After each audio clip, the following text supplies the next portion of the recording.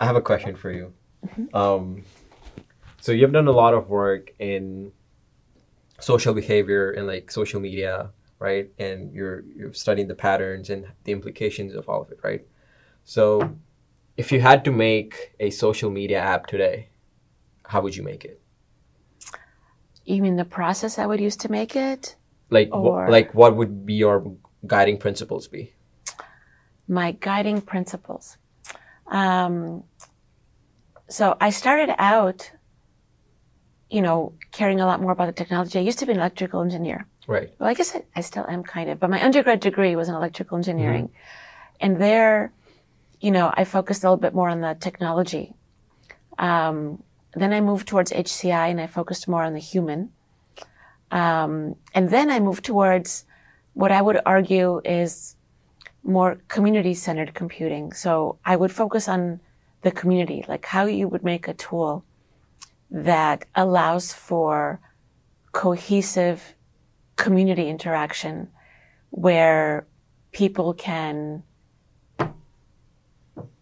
where people can have shared values.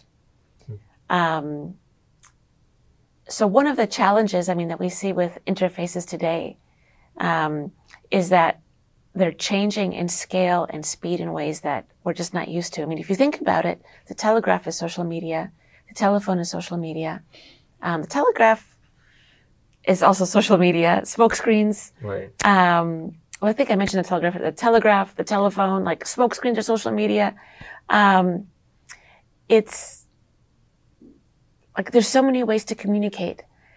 And I would argue that you want people to be able to have a conversation um, where they understand the norms in the conversation and where they can know what they're responding to.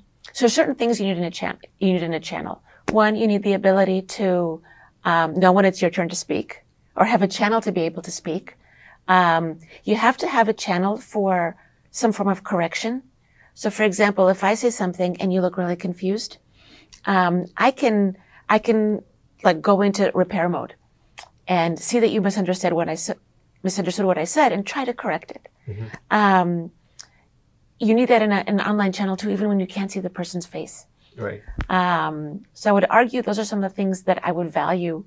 Um, but ultimately, I could predict anything I want, and I won't know how people will will use it. And so you need to have a process in place by which you user test something before you release it to a crowd. And you need to user test it with small groups of people, and then bigger groups of people, and then groups of people that are different from you.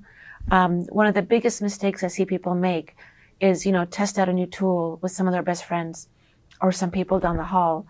Um, because then you only get a sense of how a very select group of people use it, probably very similar in, you know, demographics. And ultimately, we are a big, you know, diverse community. And we need to see how different groups of people will use tools, not, and not just designed for us, but designed for other communities as well. So that's the that's I would say the standard framework, right? Um, but what would you base the app on? Like, what would the idea be? Like, if, like for example, Instagram is like you're sharing photos, videos, and that's like one of the ways to communicate your life or like how you're interacting with others, right? Um, TikTok is more where you have short short form videos and it's like fast like short attention based content. Um, on your social media app, what would the product be? Like, Oh, I see what you're saying. I see what you're saying. So one, one thing I want to preface is that a lot of these ideas are on like Instagram and, um, and Snapchat and all of those things. All of these things have been like ideas people have had before. Um, but people actually created companies around them. Um, and it's, it's the people that created the companies around these ideas that, you know, that made that company. There's lots of these smaller things around, you know, prior to that. Um, I actually value at the moment, and, and these things change, I value sort of smaller segments of communication where you have smaller groups of people that might um, connect. I don't think it's just about the photograph. I don't think it's just about the text. I think Right. a lot of it is how you start forming the communities to begin with and how you reach people and then how you help create norms for how they use them. So, I mean, if you think about, if you think about Twitter, for example, the idea of retweeting, that was grassroots. That was people creating that. And then the company saw that and made it part of the actual product itself. Um, and so I would create a tool for smaller groups of people.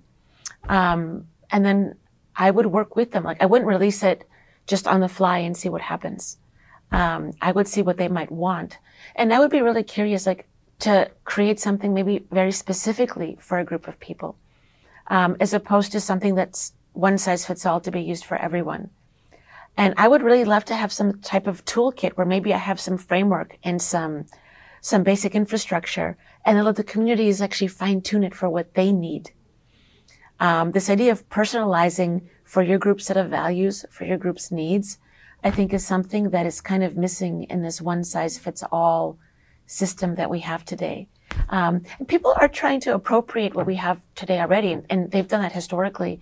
Um, like they have different moderating principles. Um, but what if they could also have something where they could highlight, like, let's say just hypothetically, I'm creating, I'm, I, my family happens to be Greek. Um, and let's say we want to have something from, you know, my, my parents' village. Um, there's certain things that we commemorate, certain holidays, there's certain customs.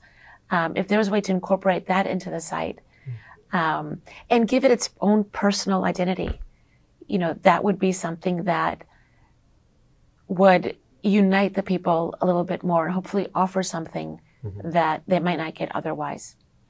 I also want to, I would want to make sure that the site did not take away from the opportunity for face-to-face interaction. So for example, one thing we see a lot is, you know, you make tools where you can send a message or, you know, look at a video of a person and you're like, well, because I sent the message and they're okay, it means I don't have to go there and visit. Um, I think that a lot of the social media is great to connect people, especially when people are remote. Um, but I get frustrated when I see things that where I otherwise might have just walked over to a house, just stopped by for a cup of coffee. Um, and you see this a lot with the elderly. For example, people put in cameras.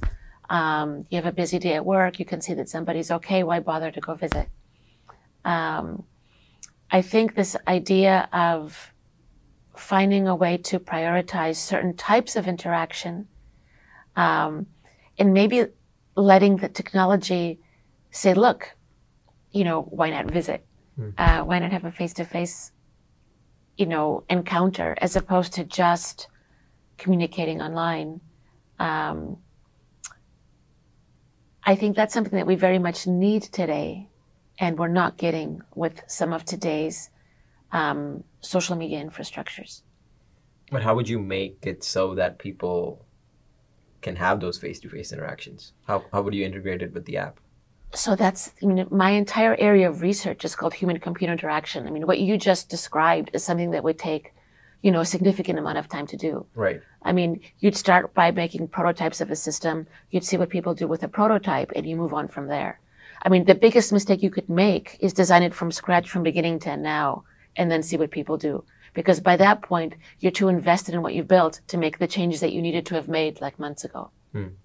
So part of this process is, is knowing that you can't decide, you can't design the full thing from scratch. So patience is a huge part of it too. Right. Um, so human computer interaction, community computer interaction involves an element of participatory design where you have to work with the people to create it. A lot of what you see with, I, I can't say all because I don't know how all of these systems that we use today were created, but were designed by somebody that that possibly thought this is how I would like to communicate with somebody, hmm. so I'm going to have the whole world communicate this way. Right. And in many ways, like designing it from scratch like that would be against many of the principles that um, that we need for community computing.